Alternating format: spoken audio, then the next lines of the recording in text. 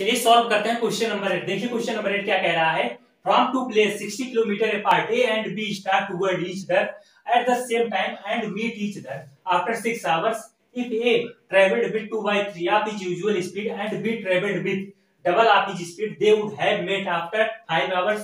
The speed of a is 4 km per hour 6 km 10 12 km per hour. देखिए कह रहा है कि दो स्थान है ए और बी शुरू करते हैं गति करना 60 किलोमीटर की दूरी पर। मान लीजिए कि यहाँ पे एक प्लेस है और यहाँ पे एक और वो कितना दूर है? 60 किलोमीटर। और ए और बी जो है स्टार्ट शुरू करते हैं टूवर्ड ईच अदर मतलब कि चलना शुरू करते हैं, एक ए इधर चलता है और बी इधर चलता है। At the same time and meet each other मतलब कि जब वह ए इधर से चलता है और बी इधर से चलता है तो दोनों यहाँ पे मीट करते हैं। मीट करते हैं आफ्टर सिक्स आवर छह घंटे के बाद। कितना उन्हें टाइम लगा? छह घंटे के बाद। ठीक समझ में आया? अब कह रहा है कि A travelled two by three of his usual speed and B travelled with double of his speed अब देखिए, यहाँ पर भी two by three his usual speed यहाँ पर जो स्पीड दी गई है ना, यहाँ पे इसकी एक्चुअल स्पीड नहीं दी गई है। यहाँ पे two by three his usual speed जितना उसके पहले का समय था, उसके पहले के समय से वह टू बाई थ्री उतना हुआ है। देखिए हम मान लेते हैं कि एक्स स्पीड से जा रहा होगा एक्स स्पीड से, और बी जा रहा होगा वाई की स्पीड से। ठीक? हम इसको मान लेते हैं, क्योंकि यहाँ पे दिया नहीं गया है, और क्वेश्चन में ही कहा है कि टू बाई थ्री आपकी यूजुअल स्पीड यूजुअल स्पीड किस यूजुअल स्पीड हम मान लिए एक्स स्पीड से वह जा रहा था, और यह वाई स्पीड से इस तरफ़ से जा रहा था। अब कह रहा है कि A travelled with two by अब यहाँ पे एक फिगर हम और बनाते हैं। A B six kilometre sixty kilometre sixty kilometre sixty kilometre पे और बी अब हमसे कह रहा है कि A travelled with two by three आपकी यूजुअल स्पीड जो ये था, वह गत कर रहा है टू बाई थ्री आपकी यूजुअल स्पीड यूजुअल स्पीड हमने क्या माना था? एक्स माना था। टू बाई थ्री आपकी यूजुअल स्पीड यानी कि एक्स टू बाई थ्री आपकी यूजुअल स्पीड समझ में आया? अब देखिए and B travel with double of his speed और जो बी है, वह यात्रा कर रहा है उसके अपने डबल स्पीड से। उसकी यूजुअल स्पीड वाई थी, अब इसमें डबल करेंगे तो हो जाएगा टू वाई समझ में आया? समझ में आया कि नहीं? एकदम इजी से आपको एकदम इजी वे से समझाऊँगा। अब कह रहा है कि कहा तक हमने they would have meet after five hours अब जब कह रहा है कि जब वह इस स्पीड से चलते थे या इस तरफ़ जाता था, या इस तरफ़ जाता था तो वह जो मिलते थे, उन्हें कब मिलते थे, उनको समय लगता था फाइव आवर्स का। समझ आ रही है? अब हमें कह रहा था स्पीड ऑफ़ एज हमें एक ही स्पीड पता करनी है, क्योंकि हमने यहाँ पे माना था सिर्फ़ एक्स हमें यहाँ पे एक्चुअल में पता करनी है कि एक स्पीड कितनी होगी। क्वेश्चन आपको बढ़िया समझ में आया नहीं क्या कह रहा है? देखो भैया जब वह इतनी स्पीड से जा रहा था और इतनी स्पीड से तो यहाँ पे उसे छह घंटे लगा। लेकिन जब उसने इतनी स्पीड बढ़ा दी तो उसे पाँच घंटे में उसने यहाँ पे मिल गया अब हम इसको सॉल्व करते हैं। देखिए, हमने आपको क्या बताया था? जब दो ऑब्जेक्ट एक दूसरे की ओर एक ही डायरेक्शन में मूव कर रहे हैं या अपोजिट डायरेक्शन में मूव कर रहे हैं तो वहाँ पे कौन सी स्पीड लगती है?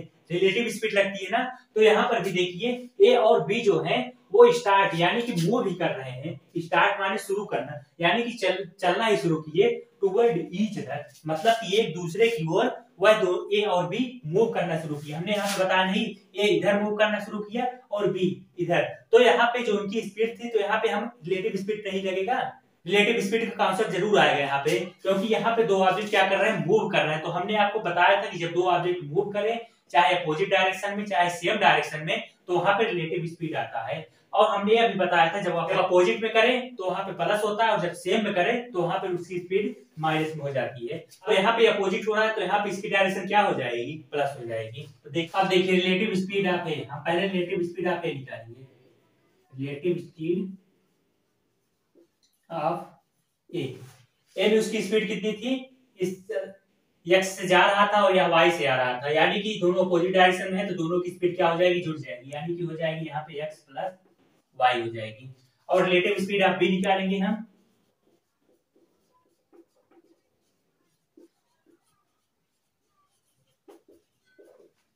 यह इससे जा रहा था और यह इससे मतलब कि दो बटा तीन एक्स प्लस दो वाई ठीक, समझ में आया? अब देखो speed is equal to distance upon time होता है। अब देखिए, हमसे क्या पूछा है उसने? स्पीड ही तो पूछा है। स्पीड कितना है हमारे पास? रिलेटिव स्पीड हम माने थे एक पहले निकालेंगे एक्स प्लस वाई डिस्टेंस कितना था? सिक्सटी किलोमीटर और टाइम कितना था? उसे लगा था सिक्स आवर समझ में आ रहा है कि नहीं क्वेश्चन देखो भैया, पहला हमने इसीलिए हमने दो फिगर बनाए, ताकि आपको परेशानी ना हो। हम जो यहाँ निकाल रहे हैं, ये पहले वाले फिगर का निकाल रहे हैं, ठीक? और यहाँ पे भी ये पहले वाले फिगर का था, और यह दूसरे वाले फिगर का है, ठीक?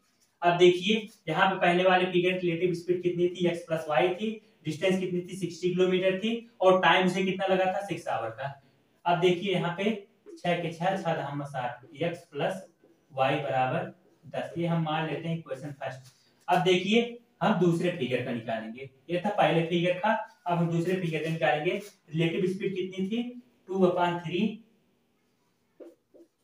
X plus two Y distance कितनी थी? Sixty kilometre.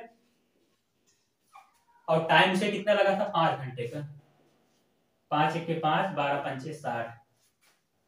Two upon three X plus two Y is equal to twelve ये था हमारा क्वेश्चन सेकंड तो हम थोड़ा और सॉल्व कर लेते हैं। देखिए। Two upon three X plus two Y is equal to twelve अब यहाँ पे हो जाएगा two X two X plus six Y is equal to बारह छत्तीस। ये हमारा हो गया इक्वेशन सेकंड समझ आया कि नहीं? ये कहाँ से आया? हमने इसको डायरेक्ट कर दिया है। देखिए, यहाँ पे टू एक्स हो गया और तीन इधर जाएगा, तीन दूरी छह वाई और तीन इधर जाएगा, तीन बार तीन छत्तीस। ये हो गया इक्वेशन फ़र्स्ट इक्वेशन सेकंड अब हम दोनों इक्वेशन को सॉल्व कर लेंगे। अब देखिए यहाँ से x और यहाँ पे टू एक्स है, यहाँ पे y है, यहाँ पे सिक्स वाई है। तो हम ऐसा कुछ करेंगे जिससे हमारे चाहे x x कट जाए, चाहे हमारा y y कट जाए, जिससे हमारी ये वैल्यू आ जाए। तो यहाँ से हम टू से हम मल्टीप्लाई कर देंगे इसमें। हम टू से क्या कर देंगे? मल्टीप्लाई कर देंगे, ठीक? दोनों तरफ़ मल्टीप्लाई कर देंगे। तो यहाँ पे हमारा टू एक्स आ जाएगा, यहाँ भी टू एक्स हो जाएगा तो two X two X cut जाएगा, ठीक?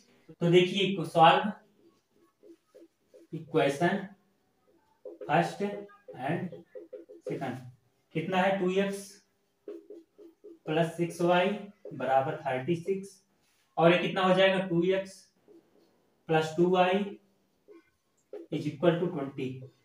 इसको हम सॉल्व करेंगे। जी, छह से दो गए चार वाई इज़ इक्वल टू छह, तीन में से दो गए एक, वाई बराबर चार आया। y बराबर चार है पहले क्वेश्चन में ले जाके रख देंगे, चाहे दूसरे क्वेश्चन रखो, चाहे पहले में देख। तो कितना है हमारे पास? x प्लस वाई बराबर चार चाहे हम पहले क्वेश्चन रखेंगे चाहे दूसरे क्वेश्चन ठीक? देखिए, यहाँ पे पहले क्वेश्चन हमारे पास क्या था? x plus Y is equal to ten X is equal to Y की वैल्यू अगर हम चार रखेंगे तो हमारे पास आएगा छह। दस में चार गए छह। हमारा छह किलोमीटर पर आवर स्पीड आ जाएगा। ठीक? देखिए, छह किलोमीटर एक्स हमने क्या ये माना था? स्पीड आप एक हमने स्पीड ले जाए एक्स बराबर छह। समझ में आया क्वेश्चन कितना भी हार्ड क्वेश्चन है, हम आपको उसको एकदम इजी वे से समझाएँगे ताकि आपको अच्छे से समझ में आ जाएँगे, ठीक? सॉल्व कर लो इसे। चलो, चलिए बढ़ते हैं अगले क्वेश्चन की ओर।